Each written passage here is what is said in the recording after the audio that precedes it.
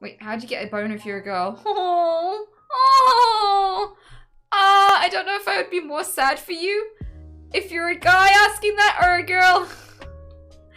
Whoever you are, I'm sorry you've never seen a lady boner, but like it's when a woman actually likes a dude or a lady and gets excited and the blood flow to her genitalia increases the volume of her clitoral hood, clitoris, inner and outer labia.